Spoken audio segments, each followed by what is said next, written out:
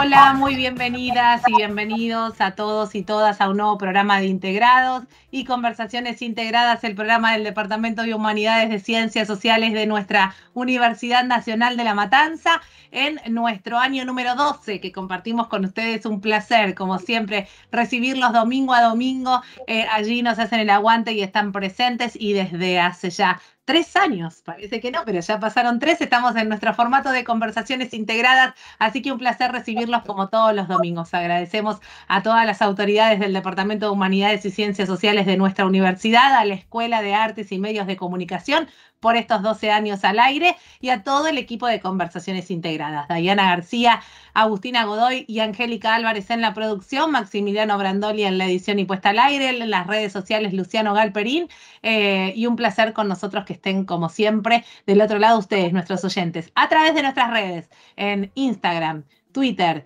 y mm, Facebook nos encuentran como arroba integradosRU y en YouTube nos buscan en nuestro canal como Conversaciones Integradas UNLAM y allí, como me gusta decir a mí, tenés todo el material eh, audiovisual para acceder al programa de hoy y a todos los programas del ciclo 2023 y de los años anteriores también. Así que no es excusa, cuando quieras y en donde quieras, Integrados va con vos, www.fm891.com.ar, en el aire de la radio de la universidad eh, también nos escuchás a través de la web. Bueno, dicho todo esto y las presentaciones, vamos hoy a recibir a la gente de la licenciatura y profesorado en educación física. Vamos a estar hablando de un tema súper interesante, los aportes de la actividad física a los niños y a los adolescentes. Ir creando una cultura de la actividad física, también una agenda, pensaba yo cuando leía el material, eh, vieron cuando se habla tanto de las cuestiones de agenda, poner en agenda, bueno, poner en agenda también la eh, actividad física y valorar todas las eh, los beneficios, no solo desde lo físico, sino también desde la parte cognitiva, psicológica, de sociabilidad y demás. Vamos a hablar de todo esto con los que saben en el día de hoy, así que ya los presento como siempre a María José Abriata, licenciada en Educación Física, licenciada en Kinesiología y Fisiatría, docente universitaria y coordinadora de la licenciatura y del profesorado de Educación Física en nuestra universidad. María José, bienvenida, ¿cómo estás? ¿Qué tal? Muchas gracias, como siempre, un gusto estar acá con ustedes. Gracias, María José. Recibimos eh, desde también nuestra querida universidad, a Estela Crescente, especialista en educación universitaria, licenciada en educación física y deportes, ha realizado cerca de 20 capacitaciones y cursos en distintas universidades, como la Universidad Nacional de La Matanza, la Universidad Nacional de La Plata y la UAI, fue docente de grado en la Universidad de 3 de Febrero y la UAI también actualmente se desempeña como docente en la Universidad Nacional de Luján y en nuestra universidad en las cátedras de observación y práctica docente y en desarrollo de actividades motoras. Es y coordinadora de cursos de Infod y el Instituto Nacional de Formación Docente, que depende del Ministerio de Educación de nuestro país, eh, y ha dictado cursos de capacitación para varias provincias. Es docente investigadora de nuestra casa y cuenta con numerosas publicaciones y participaciones en congresos y jornadas nacionales e internacionales. Un placer, Estela, recibirte. Bienvenida. Un placer para mí y un placer compartir con los hermanos americanos este, este tema tan valioso ¿no? para el campo de la educación física y para nuestros niños y nuestros adolescentes. Gracias, Estela, un placer. Vamos a recibir desde Chile a Marcelo Castillo Retamal. Es doctor en filosofía eh, por la Universidad de Nueva Zelanda, es magíster en educación física por la Universidad Estadual de Campinas, es profesor de educación física por la Universidad Católica de Chile y licenciado en educación por la Universidad Católica de Maule, donde además ejerce la docencia. Sus líneas de investigación abarcan calidad de vida, actividad físico, comportamiento sedentario, valoración de la condición física y del estado de salud, la actividad física en poblaciones no deportivas y ha escrito numerosos artículos referentes a estas áreas temáticas y hoy es un placer que esté con nosotros para charlar de este tema. Marcelo, bienvenido.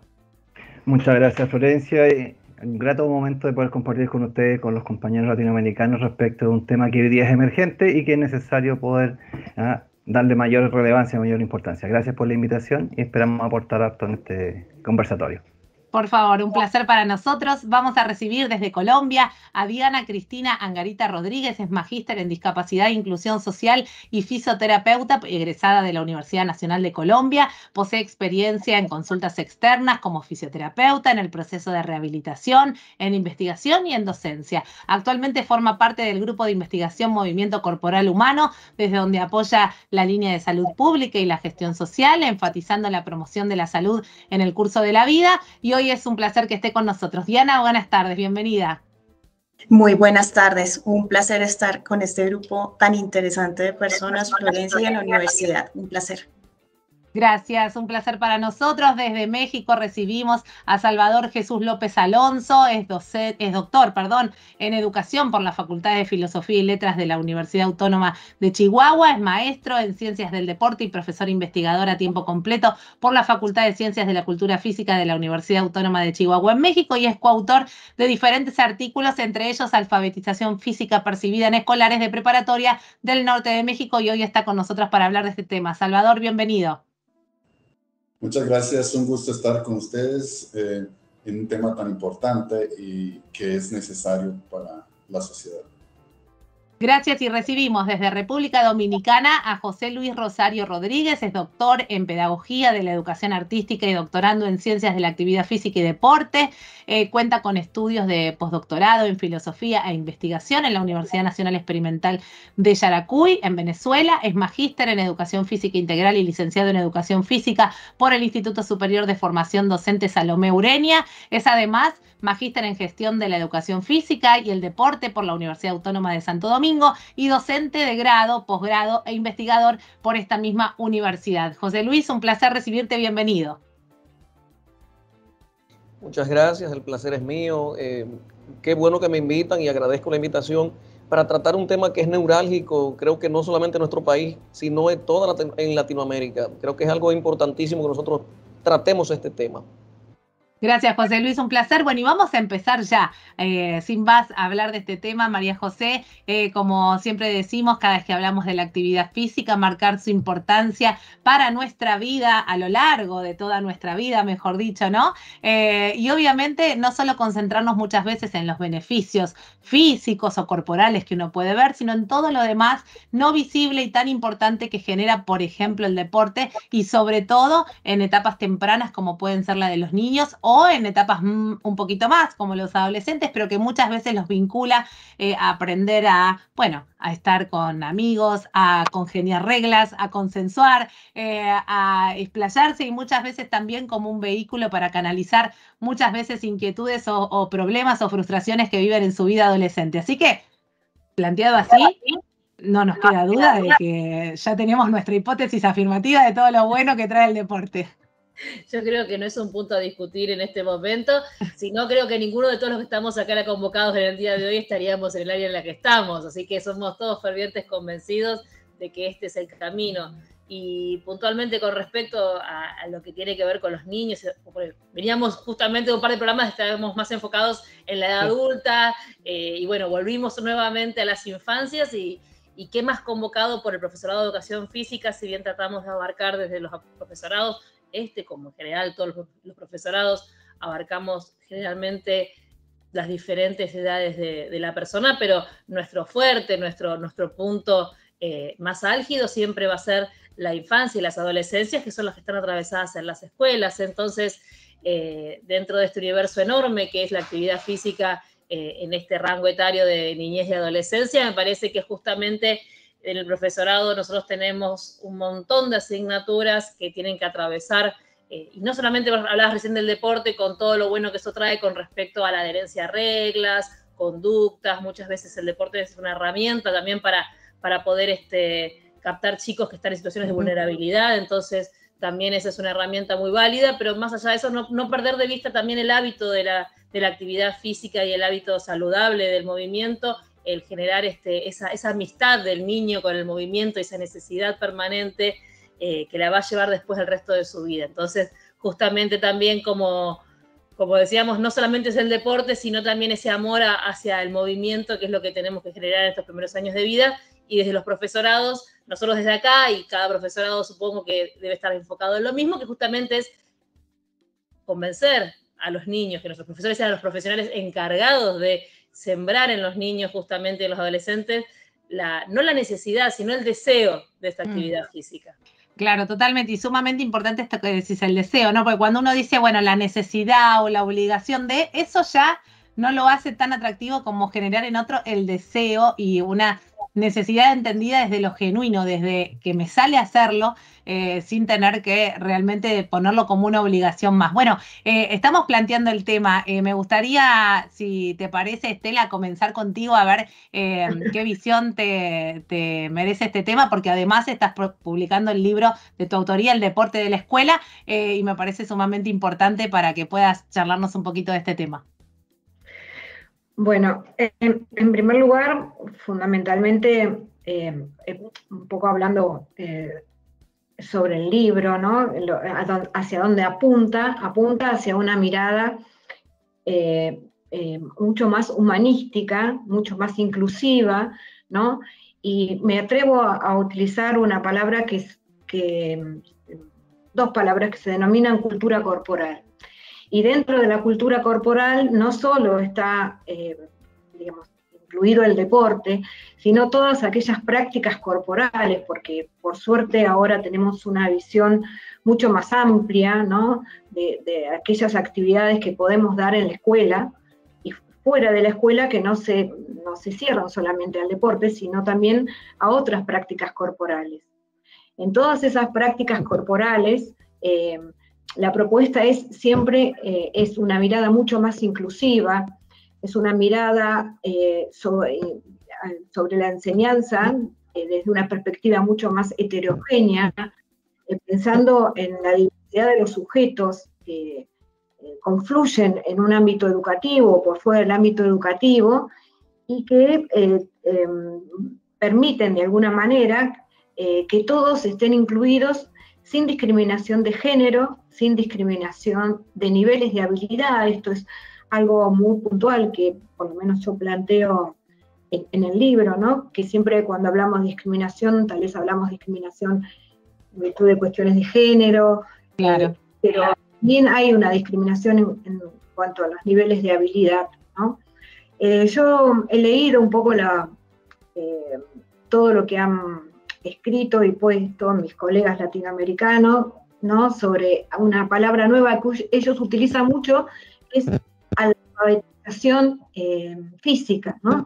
O, eh, alfabetización de la educación física, que hace referencia a esto, ¿no? De poder plantear una educación física que prepare a eso, que, que incluya a todos los niños que, eh, y que los prepare para, de alguna manera, para la vida adulta, ¿no? Considerando la actividad física desde la perspectiva de la salud, desde lo cognitivo y desde lo socioafectivo. ¿no? Interesante ya para, para ir planteando el tema, Estela, súper interesante este primer como marco teórico que nos da sobre la cuestión. Eh, Marcelo, ahí nombraba Estela lo de la alfabetización física. Bueno, justamente eh, allí eh, podés sin duda darnos un poco más de precisiones porque tu artículo trata sobre esto. Ahora sí, sí, efectivamente, bueno, hay dos cosas interesantes lo que plantea Estela, es el cambio de visión y paradigma que estamos teniendo hoy día a nivel global respecto de la actividad física. Es decir, hemos pasado de un modelo biomédico centrado en los rendimientos físicos, particularmente la condición física, como indicador de, bienestar. Pero eh, la persona es mucho más integral que solo eso, tiene que ver con algunos otros componentes socioafectivos que interpelan la participación y la reacción. Y en este caso, la escuela, como un espacio cautivo, le permite a, los docentes y a las personas poder generar otras instancias de desarrollo. Y lo que hace justamente la alfabetización física o motriz, ahí estamos en la discusión semántica todavía del concepto, ¿ah? tal vez da para otro programa, eh, que tiene que ver con cómo nosotros le vamos dando sentido a las cosas que hacemos por un lado es saber por qué lo hacemos y por otro lado es qué sentido tiene en la vida real, en la aplicación de eh, componentes y conceptos que nos van a permitir generar un desarrollo. Y básicamente es eso, es transformar o identificar a la actividad física, la educación física, las prácticas corporales como una herramienta de desarrollo humano y que a partir de estas orientaciones que se pueden dar desde la escuela y de la comunidad, generar estos desarrollos en las personas. Y ahí hay un concepto eh, que tal vez podría ser interesante en la discusión, que tiene que ver con cómo nosotros vamos dándole ese sentido y los docentes nos transformamos en acompañantes más que eh, los ofertantes de mm. actividades físicas, sino que ser una guía para mostrar la mayor cantidad de opciones posibles. Y eso es lo que pretende eh, la alfabetización física, considerar estos factores que son socioemocionales, los conocimientos sin duda, las habilidades físicas, pero también un entendimiento para que esto se transforme en un hábito y sea permanente en el ciclo de vida. Claro, qué interesante esto que planteas, Marcelo, porque, bueno, eh, como ustedes sabrán, integrados a Tani a distintas carreras del departamento, entonces, sin embargo, es un punto común entre las distintas carreras, esto de la figura del docente, ¿no? Que a nosotros nos resulta tan atractivo, sobre todo siendo docentes. Eh, ya no como el que detenta el saber o el que lo tiene, porque el saber ya y el, conocimiento está al alcance, obviamente, de casi todos, pero esto, ¿no? La guía, eh, el que puede dar un tratamiento personalizado, el que puede buscar una opción adecuada para, en este caso, cada niño, eh, según lo, que se deba profundizar en él, ¿no? Qué interesante también la mirada del el docente y ahí María José es donde desde la carrera siempre está puesto el foco entonces en seguir eh, profundizando cómo van sufriendo estos cambios sociales también y cómo va cambiando de aquellos primeros egresados profesores en educación física a lo que hoy encontramos en los patios de las escuelas son universos completamente distintos si uno piensa en un egresado de educación física de hace, no sé, 20, 30 años atrás a lo que es un egresado hoy. De hecho, ayer casualmente hablábamos con una docente que, se acercó, una docente de, los inicios de la carrera, y ella comentaba que, en un comienzo era como, ella se, peleaba con la coordinación de la carrera, que cómo no podían cursar juntos varones y mujeres en una, una materia teórica. Y, y bueno, o sea, de hace 25 años atrás estábamos planteando eso y hoy en día estamos planteando un universo tan diverso y complejo de cuestiones que uno dice, pasó un, universo enorme de tiempo. Y no, fueron 25 años, pero la verdad es que ha evolucionado por suerte y para bien eh, todo lo que tenga que ver con la educación.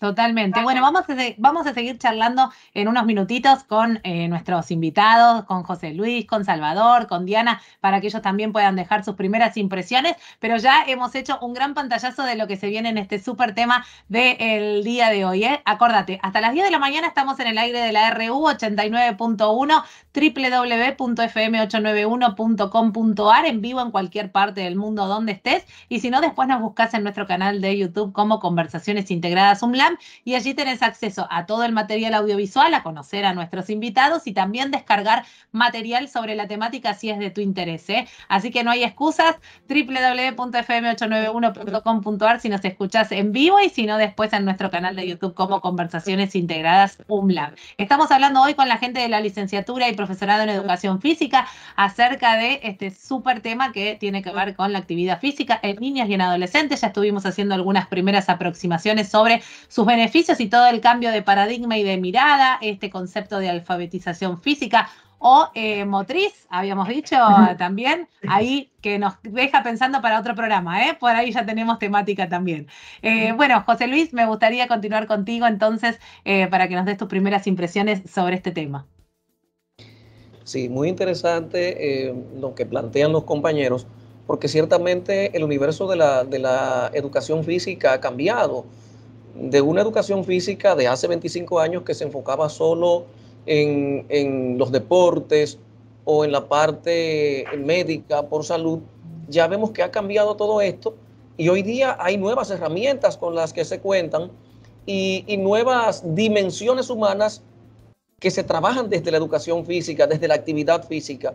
Ya hablamos hoy día de las emociones, ya hoy día hablamos de la parte socioafectiva, es decir, que no solamente nos enfocamos en, el desarrollo físico, no solamente nos, enfocamos en el desarrollo psicomotor propiamente, sino que hay otras dimensiones que vamos nosotros eh, eh, abordando desde la actividad física, desde la educación física. Y como decía ahorita Marcelo, creo que el, rol del docente en este proceso es muy importante, porque es que eh, es el docente quien va a servir de guía, el que va a servir de promotor, porque decía ahorita, nosotros no, estamos aquí para enseñarles a los niños cómo qué van a hacer, sino vamos a promover simplemente el hecho de que hagan actividad física y los vamos a motivar, somos motivadores. nos convertimos en motivadores para que ellos se hagan partícipes de todo el accionar y que por tanto, claro, pues se desarrollen en términos cognitivos, en términos psicomotores, socioafectivos, emocionales y demás. Este tema interesantísimo, eh, los planteamientos que han hecho los, mm. los compañeros. Y me llama la atención algo que decía ahorita Estela, a propósito de que ella escribe, escribe un libro, está escribiendo un libro, y, me reí aquí un poquito porque lo que ella escribe, lo que ella plantea, tiene cierta congruencia con un libro que yo eh, escribí en el 2022 que se titula La canción motriz, Juegos y Cantos aplicados a la educación física, en, donde yo precisamente hablo de, cómo sirven los juegos, esos juegos que, se, naturalmente juegan los niños en, en, sus barrios, en sus comunidades, cómo contribuyen estos juegos, de forma natural que lo hacen los niños, al desarrollo eh, holístico del niño, al desarrollo integral del niño. Y es muy interesante, me pareció muy, muy bonito el planteamiento de Estela y me recordó automáticamente mi libro, que aquí lo tengo en, mis manos.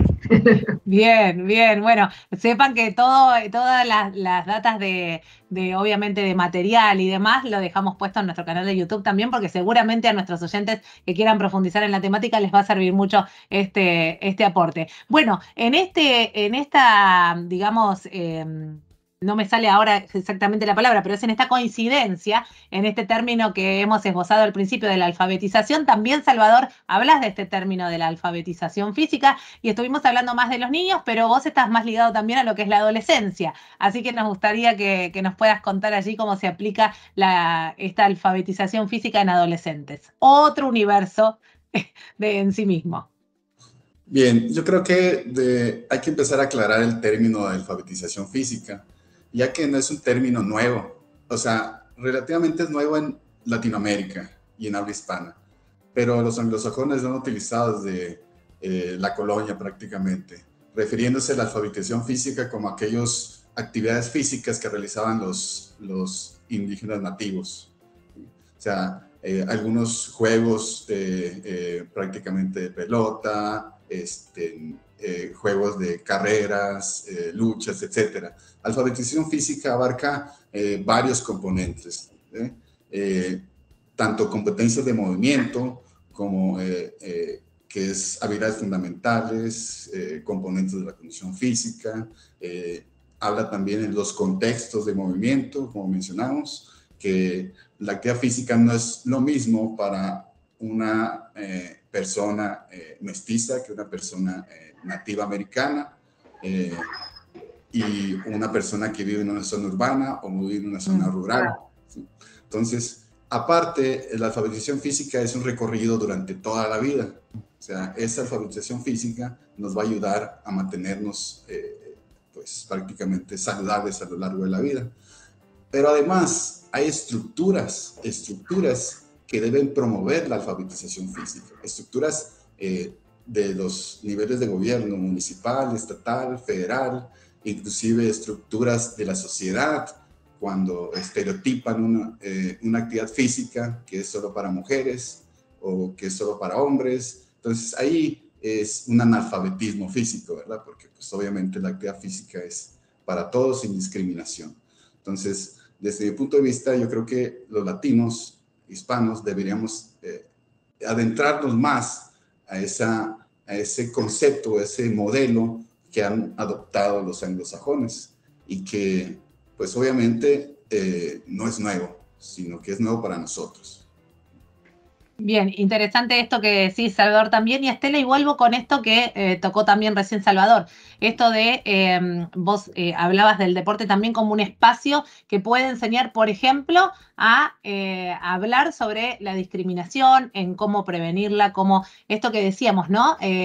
Todavía eh, hay actividades o hay escuelas que adoptan el no hacer clases mixtas, pero hay otras que sí. Eh, hay escuelas, les contamos aquí en Argentina también, que tenés la especialización en la etapa de, de secundario, que hay un montón de escuelas, sobre todo en nuestro partido de La Matanza, que tienen como especialidad la educación física, algo que antes quedaba relegado únicamente a una materia más, ahora hay una especialización en educación física desde hace unos años, como para poder elegir también esa opción para desarrollarte profesionalmente. Digo, entonces, eh, como dice Salvador, esto no es nuevo y sin duda cada vez estamos más conscientes también desde políticas públicas y desde acciones de gobierno a la importancia de la actividad física en este sentido integral, ¿no? Que puede enseñar mucho más que una cuestión de eh, expertise o de dominio físico o de manejo físico, de hacerlo bien o de hacerlo mal, sino de todo lo que aporta.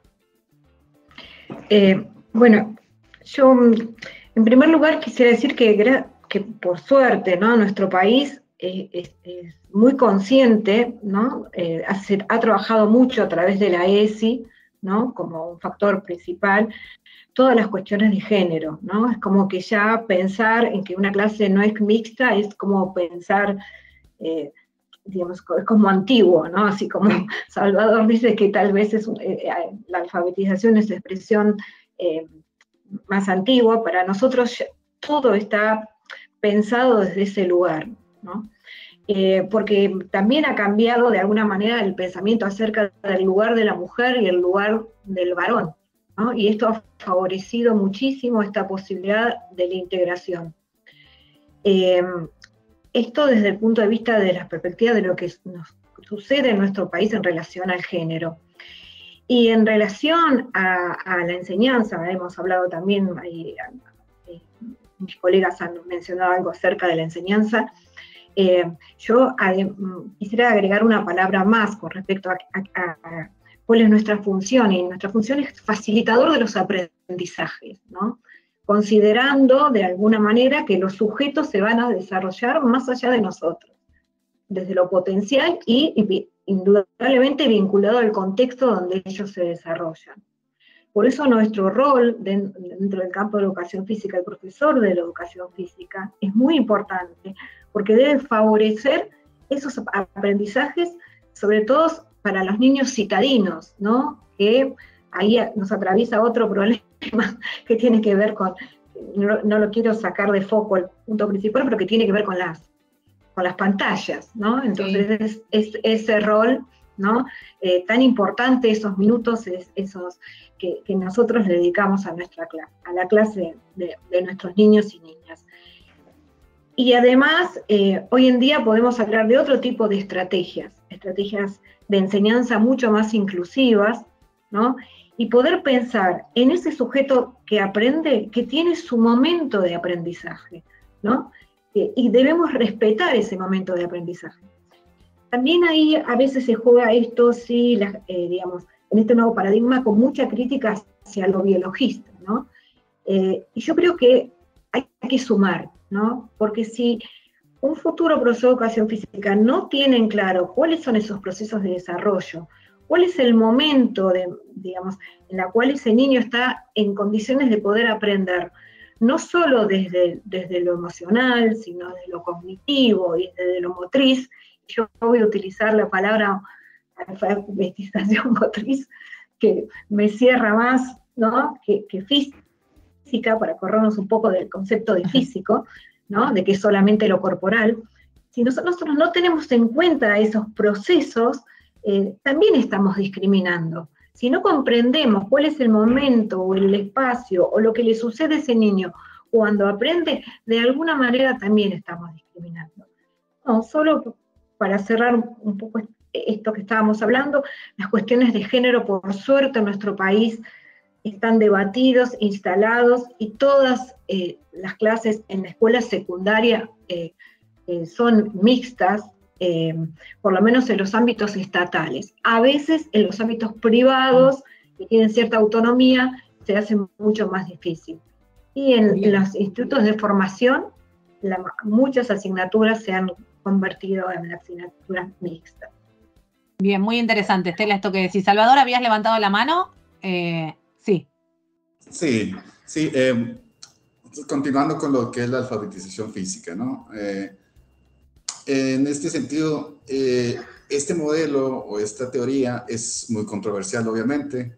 Sin embargo, eh, existen pues fuentes donde tratan de explicar esta alfabetización física como una parte, como mencionan los colegas, holística, donde se habla de lo motor, ¿sí? habilidades motoras, habilidades fundamentales, se habla de los componentes de la condición física, se habla del conocimiento que deben tener eh, los en este caso, ¿verdad? Los niños y adolescentes sobre la actividad física para la salud.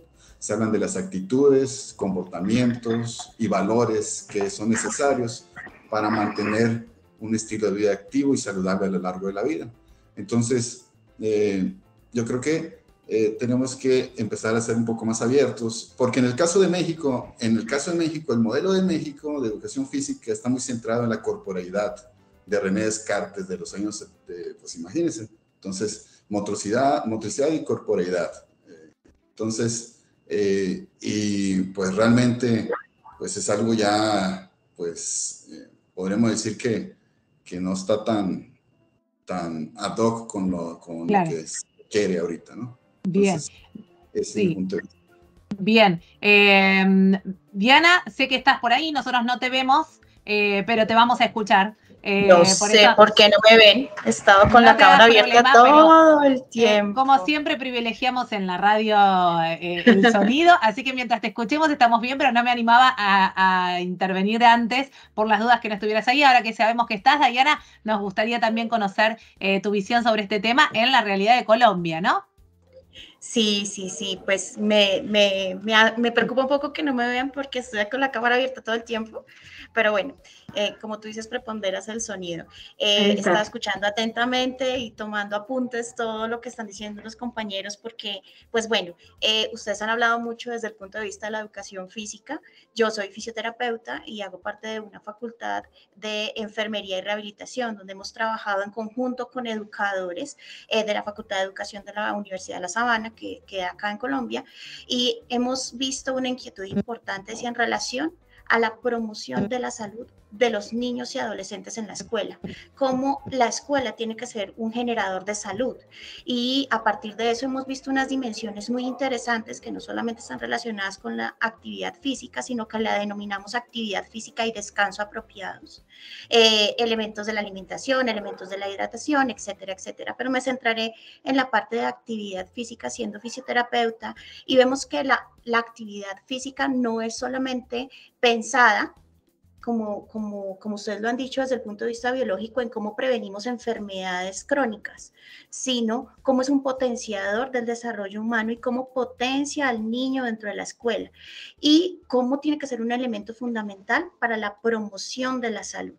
Eh, y en ese sentido, eh, cómo no únicamente tiene que ser una tarea del educador físico que está dentro de una clase muy puntual, sino de todos los docentes y de la comunidad escolar propender tanto los espacios como los imaginarios relacionados con la actividad física de manera positiva, porque efectivamente le estamos delegando tareas solamente a algunos actores en relación con la salud y en específico con la actividad física. Y cuando nosotros vemos que, por ejemplo, en una clase de matemáticas nosotros pudiéramos trabajar las figuras geométricas moviendo nuestro cuerpo, cuando, la, cuando Estela nos dice que debemos generar una cultura corporal, es un trabajo integrado de todos los que estamos inmersos en la escuela, el pensarnos que nos podemos mover en cualquier espacio y que ese movimiento puede favorecer tanto el desarrollo integral de los niños como su salud.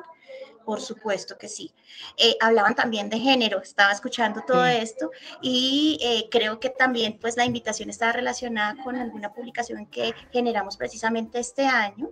Eh, nuestro grupo de trabajo se llama el Grupo ProSalud y el Grupo ProSalud ha identificado muchas cosas interesantes alrededor de estos hábitos de los niños en la escuela. Identificamos que esas construcciones socioculturales aunque tengamos una clase de educación física mixta, integrada, donde propendamos algunos elementos de las cualidades físicas específicas, llevan a que los, los, niños se comporten de acuerdo a su género e identificamos cosas básicas como los patrones eh, motores fundamentales, como por ejemplo, los niños patean muy bien, pero las niñas no patean bien.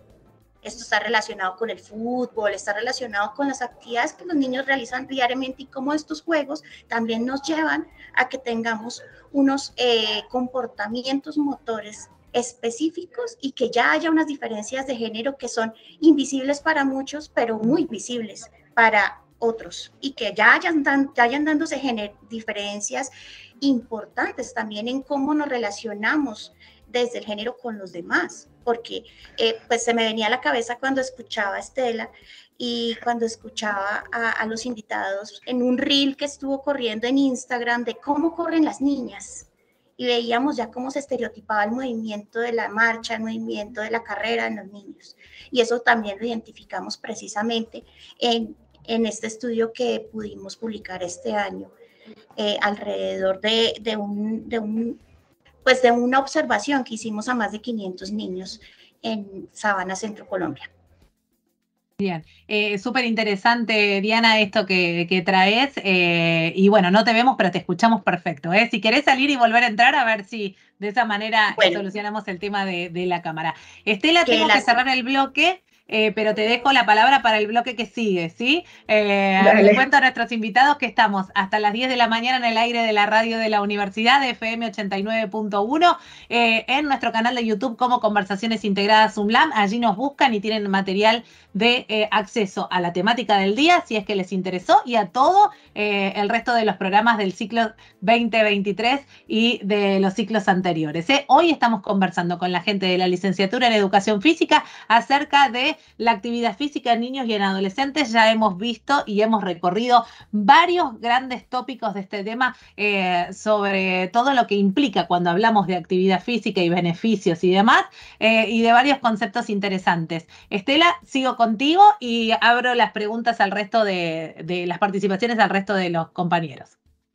Eh, bueno, una pequeña aclaración, tomando las palabras de Diana, en relación a cuando ella habla ah, de los patrones motores. Justamente en mi libro tomo el tema de los patrones motores, es, los patrones motores de, de Wingstrom, que son estadios normativos de diferentes conductas motoras. Em, si bien ah, uno podría pensar eh, eh, que, bueno, que se podría pensar en, establecer diferencias entre varones y mujeres, eh, en nuestro país hay un fenómeno muy importante que es que el fútbol ha ingresado a las escuelas y eso ha generado este, que ya no es el fútbol de los varones o el fútbol de las niñas, es un fútbol integrado que conlleva una serie de patrones motores, correr, patear, ¿no? Y eso nos permite entender cómo la cultura, el contexto, ¿no? Eh, va a ir determinando ese proceso de desarrollo de los patrones motores. Entonces, no podríamos decir que los varones corren de una manera, que las mujeres corren de otra manera, sino en la medida que vayamos integrando las habilidades, incorporando y utilizando estrategias que permiten esa integración, vamos a poder observar ¿sí? cómo esos, eh, digamos, vamos a poder observar que no es una cuestión de varón y mujer, es una cuestión solamente del contexto de la cultura corporal y de las estrategias que utilicemos para integrar a todos. Totalmente, clarísimo. Sí, súper clara la aclaración también, eh, Estela. Marcelo, hablando de estrategias, pedagógicas y docentes, hoy nombraste a los docentes y entonces vamos a enfocarnos en estos últimos eh, minutos del programa, todavía tenemos tiempo, eh, acerca de estos docentes, porque además hay muchos, María José, licenciados y futuros licenciados en educación física y profesorados que nos están escuchando y que este primer vínculo generalmente con eh, el campo profesional suele ser la escuela. Entonces me parece que va a estar súper interesante el programa de hoy, Marcelo, si tenemos que hablarle a aquellos docentes, en qué tenemos que estar poniendo el foco hoy y la mirada cuando hablamos de actividad física? Básicamente en dos componentes que ya se ha declarado, por ejemplo, desde la UNESCO, cuando habla de educación física de calidad, y nos indica que la observación o el manejo debe ser en estas características integrales. Que si bien es cierto, como se planteaba hace un rato, lo planteaba Estela, lo motriz o lo físico no debe dejarse de lado, porque es la parte fundamental y el elemento central de nuestra acción pero tenemos que incorporar los otros elementos que le permiten a la persona generar confianza, autoestima, dominios, conocimiento, entendimiento, y eso, desde la perspectiva del rol docente, también tiene que estar claro. Si nuestros docentes no saben para qué enseñan, nuestros estudiantes tampoco van a saber para qué aprenden. Por tanto, desde la lógica de las eh, estrategias de intervención, debiésemos tener en claro, y es lo que nos propone justamente la filosofía central de la alfabetización física, es que todos estos elementos estén disponibles al mismo momento. Es decir, cuando nosotros docentes intervenimos con los estudiantes, si bien es cierto, el, eje central puede ser esta capacitación o esa acción motriz, pero debe integrar lo eh, cognitivo, debe integrar lo afectivo, debe integrar lo relacional. De tal manera que con esos elementos esta persona pueda generar aprendizaje. Porque e, es súper interesante lo que sucede. Cuando nosotros aprendemos o descubrimos algo, nos sentimos felices.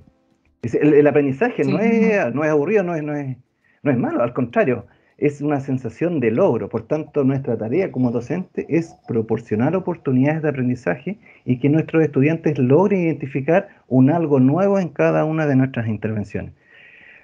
No tenemos por qué hacer rígido el aprendizaje, no lo tenemos por qué encapsular, sino que justamente lo que nos pide eh, alfabetización física es que nosotros como docentes tengamos un amplio bagaje de propuestas para generar oportunidades de aprendizaje a nuestros estudiantes.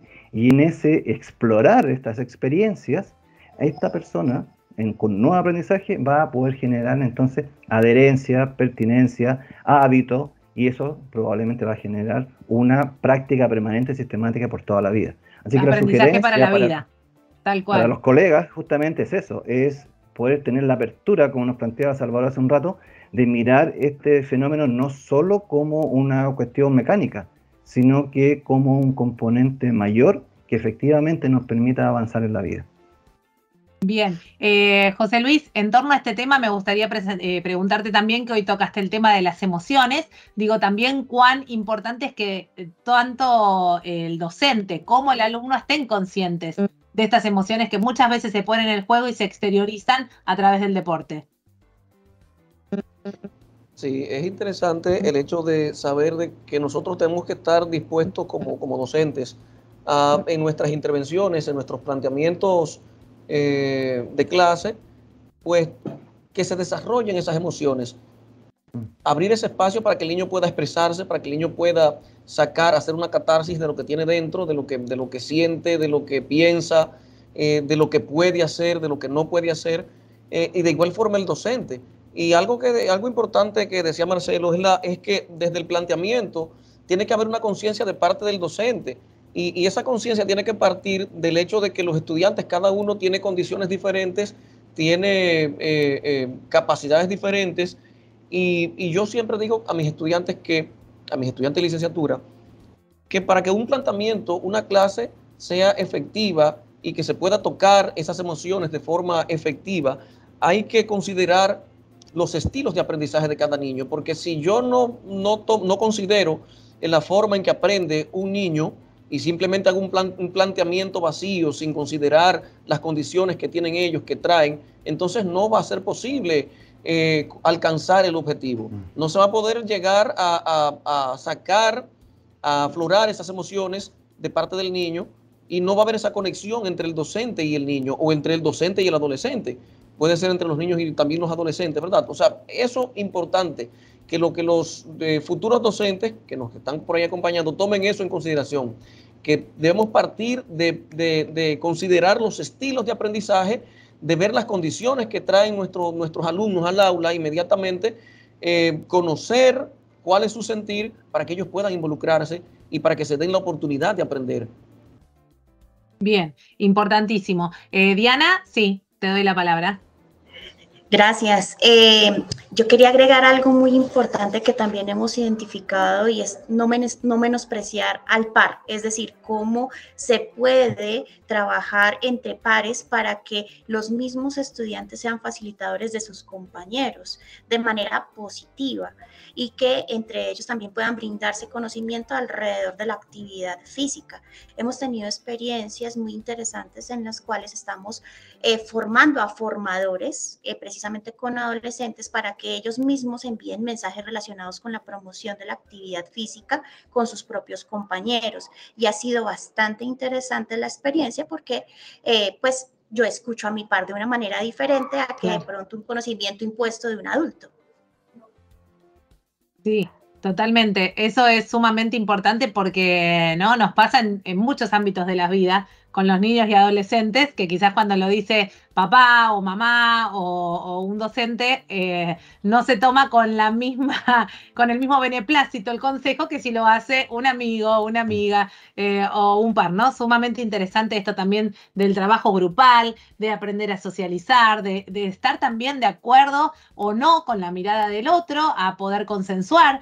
Digo, hay un montón de cosas, de prácticas detrás de la actividad eh, física o del deporte o de estos espacios de encuentro muchas veces entre compañeros eh, en momentos distendidos donde se puede aprovechar a tratar muchísimas otras cosas. Eh, Salvador, te doy la palabra y empiezo contigo entonces en esta ronda de conclusiones. Les voy a dar la palabra a cada uno para que puedan ir diciendo lo que quieran respecto del programa de hoy y voy a cerrar con María José. Salvador, entonces empiezo con vos.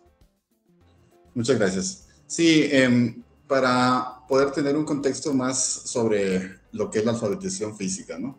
Entonces, estamos muy acostumbrados a eh, evaluar los componentes de la condición física, el desarrollo motor, sin embargo, el conocimiento sobre eso no lo evaluamos en educación física. Y es algo muy importante, que el niño puede identificar qué ejercicio o qué actividad física mejora su capacidad cardiorrespiratoria, qué ejercicio, qué actividad física mejora su flexibilidad, su fuerza, ¿sí?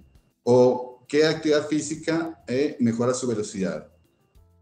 Entonces, todos esos conocimientos no estamos acostumbrados a que si nosotros le preguntamos a los niños sobre eso, inclusive a veces hasta estudiantes de licenciatura, eh, pueden entrar en duda y no saben identificar algunas situaciones o algunos conceptos que son necesarios para poder llevar un estilo de vida activo saludable.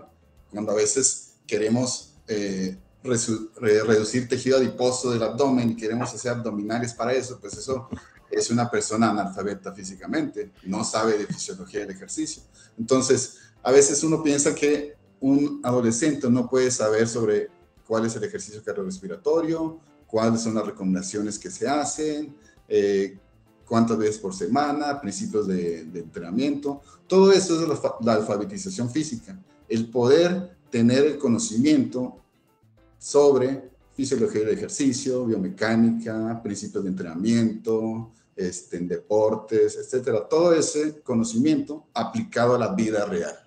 Eso, eh, en resumidas cuentas, podríamos definir que es la alfabetización física, o lo que plantean como alfabetización física y que es eh, la educación física la principal promotora, no la única, pero es la principal promotora de alfabetizar físicamente a los niños y los adolescentes. Bien, Salvador, muchísimas gracias. Eh, te invito a que te quedes escuchando las conclusiones del resto de, los compañeros y después cerramos todos juntos. Estela, voy contigo, si te parece. Bueno, eh, voy a tomar un poco lo que planteó Salvador y nosotros a lo, el hecho de que los alumnos tengan conocimiento, sobre todo los adolescentes, eh, las cuestiones que hacen referencia a su cuidado corporal, al desarrollo cardiovascular, vinculados a las actividades físicas, nosotros las denominamos estrategias participativas. Es decir, que es a través de la enseñanza que ellos puedan realmente conocer ¿no? cuáles son esos elementos que le van a permitir para el futuro como adulto poder utilizarlos en el momento que deseen. Eso por un lado, como para agregar un poco más eh, lo que planteó Salvador. Y mm, yo quisiera concluir de la siguiente manera. Eh, y, está vinculado al aprendizaje motor, que es un poco mi otro campo, ¿no? Eh, cada vez más los docentes deberían saber sobre aprendizaje motor. digamos, es, es como irrisorio pensar que si yo no entiendo cómo aprende un niño, no voy a entender cómo poder enseñarlo. Entonces eso tiene que ver con la profundidad del saber del aprendizaje motor. Eh, y además, y es, digamos, no hay aprendizaje motor, y hablando de las emociones que plantea José Luis, si no hay afecto. Si no hay afecto, no hay aprendizaje. Y cuando uno habla de afecto, habla acerca del vínculo que tiene el docente con ese niño que está aprendiendo. Y para concluir, para mí es fundamental. Podemos entender de desarrollo motor, podemos entender de aprendizaje motor, podemos hablar de alfabetización eh, física o motriz, pero fundamentalmente tenemos que saber que el único camino es que ese niño eh, tenga la confianza en nosotros de que va a poder resolver esas situaciones motrices. Y que en el ámbito de la, de la enseñanza del deporte, que es también mi tema, y así como concluyo mi libro, digamos, si uno se pudiera pensar qué es lo que va a llevar ese niño que transitó la escuela, que, fue adolescente, más allá de sus valores en la salud, que también son importantes, es haber jugado con otros. Y, eso se lo lleva hasta en el alto rendimiento, ¿no? Si nosotros hacemos una foto de, lo que, significa, inclusive para esos jugadores de alto rendimiento, qué es lo que mantuvo las Leonas Unidas, que fueron nuestras jugadoras de hockey eh, olímpicas, y qué es lo que mantuvo de alguna manera eh, nuestros jugadores de fútbol, ganadores del Mundial, ¿qué es lo que los mantuvo? Es el afecto. Entonces creo que en todos los ámbitos educativos y, en todos los ámbitos de la actividad física y el deporte y la cultura corporal y las prácticas corporales, el nudo de la cuestión es el afecto y en los vínculos. Gracias, Estela. Eh, muchísimas gracias por los aportes de hoy. José Luis, voy con tus conclusiones. Sí, interesante que el docente entienda que en el aula, cuando está trabajando con los niños, él eh, no es quien tiene que hacerle llegar obligatoriamente eh, la información al niño, como planteaban ahorita, por ahí creo que era Diana que decía, de la enseñanza recíproca, esa enseñanza que se puede dar entre, entre iguales, entre pares, porque a veces se nos dificulta o no se nos dificulta. El detalle es que nosotros como docentes, como adultos, tenemos un lenguaje que a veces los niños no lo entienden y entre ellos sí hay un lenguaje común eh, y la información puede llegarle y pueden comprender a más cabalidad cualquier contenido. Interesante lo que decía ahorita Salvador, de que la alfabetización física tiene que permitirle a esos niños, a esos adolescentes, el conocer cuáles son las herramientas que le favorecen para crecer eh, eh, físicamente, cuáles, lo, cuáles actividades, cuáles acciones, cuáles ejercicios los llevan a, ciertos, a ciertos objetivos particulares, ¿verdad? Eh, y eso precisamente es la alfabetización física, que el niño tenga conciencia de qué puede servirle para mm, mantener su estado cardiovascular, eh, para bajar, como dicen aquí, por ejemplo, en República Dominicana, siempre la gente vive preocupada por los chichos, es decir, por la grasa abdominal, como decimos aquí. Eh, ¿Qué hacer para, controlar esa parte? Eh, es importantísimo eso. Y por último, corroborando con Estela, instar al docente a que se involucre con, el adolescente, con el niño, porque en la medida que el adulto, el, el docente se involucra, entiende al niño, el niño se va a sentir aceptado, va a entrar en mayor confianza y va a poderse dar él mismo la oportunidad de desarrollarse eh, de forma integral, poder entrar en ese proceso de, desarrollo motor, de desarrollo cognitivo, de desarrollo socioafectivo, por tanto también de su desarrollo emocional. Gracias, José Luis, un placer. Diana, voy con tus conclusiones. Bueno, yo arrancaría con lo más importante que es el nombre del programa, Integrados, y es que el tema de facilitar, promocionar la actividad física en niños y adolescentes es un asunto de todos, es un asunto que trasciende las disciplinas, que trasciende los conocimientos, es más, lo que debemos trabajar es en sumatoria para poder facilitar el hecho de que los niños y adolescentes realicen actividad física. Eh, esa sería mi primera conclusión. La segunda conclusión es eh, relacionada con este tema de lo sociocultural y es y cómo más bien nosotros miramos cómo lo, lo sociocultural puede favorecernos para que podamos propender la práctica de actividad física dentro de las escuelas y que eso trascienda a la vida diaria y cotidiana de los niños y adolescentes. Y eh, finalmente me gustaría decir que si nosotros propendemos actividad física, también tenemos que tener alfabetización física. O sea, nosotros no podemos hablar de la alfabetización física en niños si nosotros no tenemos un mínimo de alfabetización física eh, y que podamos llevar el ejemplo a los niños en términos del conocimiento. Entonces, será una tarea de todos alfabetizarnos en la parte física, porque, eh, como lo decía al comienzo, eh, todos tenemos que saber sobre el tema para poderlo llevar a cabo a la vida cotidiana. Gracias, Diana. Marcelo. Bien, creo que hay dos cosas me gustaría comentar. La primera es que efectivamente la alfabetización física en la visión moderna nace desde esta lógica de poder reducir los comportamientos sedentarios. Por tanto, tiene una característica particularmente asociada a los biologicistas, pero se incorporan algunos otros elementos que los estudiosos se dieron cuenta que era necesario considerar. Y eso eh, se traduce en un concepto que es educación para la vida. Y básicamente tiene que ver con cómo la escuela, más allá de los contenidos, tiene que generar eh, espacios de aprendizaje en donde la búsqueda eh, final es el desarrollo humano y que no tiene que ver necesariamente con el pasar estos contenidos o que tengamos que hacer una auditoría de conocimientos a nuestros eh, estudiantes, sino que cómo ellos son capaces de poder generar interés y en esa medida cubrir esas necesidades que en este caso para nuestro ámbito tiene que ver con el movimiento y que finalmente se traduce en mejorar los niveles de calidad de vida. Y un mensaje final para nuestros colegas de educación física, nuestros docentes, es eh, invitarlos particularmente a reconocer en el espacio eh, escolar una instancia generadora de oportunidades de aprendizaje y que en nuestro caso lo hacemos a través del, eh, del movimiento. Gracias Marcelo. María José, cierro con vos. Bueno, como siempre, la verdad que, me pone muy feliz poder escuchar eh, a los diferentes colegas de distintos lados del continente, que eso nos da muchas veces un panorama mucho más amplio y nos saca a veces un poco de la endogamia de, escucharnos siempre nosotros mismos.